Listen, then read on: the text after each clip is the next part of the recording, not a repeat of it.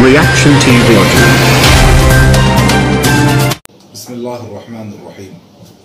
बसमीम वरहमतुल्लाहि वबरकातुहू मैं आप तमाम इन्वेस्टर्स को ये बताना चाहूँगा कि माशाल्लाह से हमारी ट्विटर कैंपेन बहुत अच्छे से चल रही है और हमने ए आई एम आई एम के जुल्म के ख़िलाफ़, असदुद्दीन ओवैसी के जुल्म के ख़िलाफ़ तमाम जगहों पर हम ट्वीट कर रहे हैं।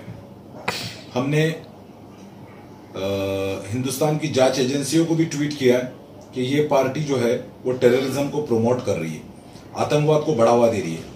और सबूत के तौर पर हमने अकबरुद्दीन ओवैसी के जो भड़काऊ भाषण थे, जिसमें उसने हिंदुओं के देवी देवताओं को गाली दी, वो तमाम प्रूफ्स हमने उनको सेंड करे शहबाज अहमद खान और यूनुस सैयद, ये लोग भी टेररिज्म को प्रमोट कर रहे हैं। नरगिस आपा पर जो हमला हुआ है इसमें कहीं ना कहीं इन्हीं M A I M I M वालों का ही हाथ है। मैं आप लोगों को एक चीज़ और कहना चाहूँगा यहाँ पर कि हमारी जो लड़ाई है, हमारी जो जंग है वो ए आई एम आई एम के साथ है। क्योंकि इसी ए आई एम आई एम ने हमारी रोजी रोटी पर हमला किया है, हमारी इकोनॉमी पर हमला किया है, हमारी मीशत पर हमला किया है।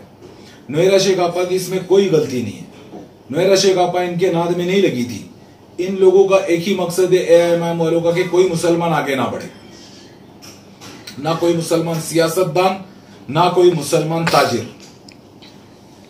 और अगर कोई कुछ कर रहा है तो उसमें ये लोग सीधा मुँह मारने के लिए आ जाते हैं। इनकी गुंडागर्दी, हैदराबाद के लोगों, मैं आप लोगों को भी कह रहा हूँ, मेरे पास हैदराबाद के लोग मुझसे बहुत रहा कर रहे हैं और कहीं ना कहीं इस ए के डर से बैठे हुए खामोश। हैदराबाद के लोगों, मैं आप लोगों को बोल रहा हूँ, हैदराबाद के इन्वेस्टरों इस असदुद्दीन ओवैसी से डरोगे तो अपने पैसे की बर्बादी के जिम्मेदार आप लोग ही रहोगे। अगर आप लोग ए के खिलाफ सारे मिलकर आवाज़ नहीं उठाओगे तो फिर ये मामला कोर्ट कचहरी में न जाने कितने सालों तक लटक सकता है। मैं इसलिए कह रहा हूँ, क्योंकि मेरा कोर्ट कचहरी पर से भरोसा उठ चुका है। इसकी सियासी मदाखलत कोर्ट कचहरी में चल रही है। ये अपनी पॉलिटिकल पावर का नाजायज फ़ायदा उठा रहा है। और जो आपा की बेले डिसमिस हुई है, इसमें भी इसी असदुद्दीन ओवैसी का हाथ है। ये इस्लाम और मुसलमानों का दुश्मन है। इनकी वजह से आज मॉब लिंचिंग हो रही है, इनकी वजह से मुसलमान हर जगह मार खा रहा है, इनकी वजह से मुसलमान पिटा जा रहा है सब जगह पर।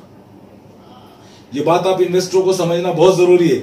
और मैं कोकन पट्टे के तमाम इन्वेस्टर्स को भी मुखातिब होकर कहना चाहूँगा, चाहे वो चिपलून के हो चाहे वो खेड़ के हो रत्नागिरी के हो कालुस्ता के हो फुरुस के रहो या किधर के भी रहो आप लोग। आप लोगों को अपना अपने पैसे के लिए रोडो पर निकलना पडेगा। अब तुमच्या पैशासाठी तुम्हाला रोडावर निघ्या लागल आता. आणि माझ्या ट्विटर कॅम्पेनला पण मला सपोर्ट करा. दुसरो काही रस्तो नाही. मी हॅनलोकाच्या खिलाफ ट्विटर कॅम्पेन पण सुरू केली आहे. माझं नाव लिखली सौद पाहुणे ट्विटरला सर्च करू शकता म्हणा. आणि मला फॉलो करा. आणि माझ्या सगळ्या ट्वीट्सला रिट्वीट करा ह्यान लोकांना सोशल मीडियावर बायकआउट करना खूप ज़रूरी झाला है था एआईएमआईएम का नुकसान होगा, सियासी तौर पर, इकतिसादी तौर पर पॉलिटिकली हर तरीके से जब इनकी हकीकत, इनकी, इनका काला चेहरा दुनिया के सामने आएगा, तभी हम लोग इस मसले से निकल पाएँगे। इस मसले का हल हमको A I M I M को डैमेज करने में ही है। इनकी असलियत, इनकी औकात, इनकी हकीकत दुनिया के सामने लानी पड़ेगी। दूसरा कोई रास्ता नहीं है। और अब आप लोगों को, तमाम इन्वेस्टरों को बोल रहा हूँ कि मोर्चे निकालने की तैयारी करनी पड़ेगी हम लोगों को। वरना न जाने कितने साल हमारे वेस्ट हो जाएँगे कोर्ट कचहरी के चक्कर में। मुमरा के इन्वेस्टरों आप लोगों को भी बोल रहा हूँ। मीरा रोड के इन्वेस्टर्स आप लोगों को भी बोल रहा हूँ। और जितने भी बाकी बॉम्बे में, महाराष्ट्र में इन्वेस्टर्स है पूना के इन्वेस्टर्स को भी मैं बोलना चाहूँगा अब सब लोग रोडों पे निकलने की तैयारी करो। सब लोग मिल के आवाज़ उठानी पड़ेगी एमआईएम के खिलाफ। सोशल मीडिया पर, रोडों पर, हर जगह जब तक एआईएमआईएम बदनाम नहीं होगी निस्तो नाबूद नहीं होगी मसला हल नहीं होने वाला है। आप लोग देख सकते हो कि एआईएमआईएम कितनी गंदी पार्टी है। शहबाज अहमद खान ने लोगों की बहन बेटियों की इज़्ज़त उछाल रहा है, सोशल मीडिया पर लोगों की बीवियों की इज़्ज़त उछाल रहा है, लोगों की माँ बहनों की इज़्ज़त उछाल रहा है। अरे असदुद्दीन ओवैसी, तू इतना बड़ा दरिंदर है कि यही तेरी पार्टी का काम है। एक पार्ट तेरी पार्टी का एक नेता हिंदुओं के रिलीजियस सेंटिमेंट्स को हट कर रहा है। दूसरा मुसलमानों की बहन बेटियों की इज़्ज़त उछाल रहा है। ये सब अब नहीं चलने वाला है। अब हम आवाज़ उठा कर रहेंगे। हमारा कोर्ट कचहरी पर से भी भरोसा उठ चुका है। कोर्ट कचहरी के चक्कर में मत पड़ो भाई, रोडों पर निकलो। मैं सब लोगों को बोल रहा हूँ, रोडों पर निकलो, तभी ये मसला हल होगा। मैं और भाई, मैं आप लोगों को बोल रहा हूँ, सोशल मीडिया पर, ट्विटर पर मुझे फॉलो करो। मेरी ट्विटर कैंपेन का सपोर्ट करो। ये भी बहुत ज़रूरी है, क्योंकि इनको पूरे आलम में, इस्लाम में, पूरी दुनिया में इनका बाइकआउट करना ज़रूरी हो गया है। और दो भी सबसे बड़े हमारे हथियार है। एक ट्विटर और दूसरा जो हथियार है हमारा, वो ये है कि हमें अपनी आवाज़ उठानी पड़ेगी, रोडों पर निकलना पड़ेगा।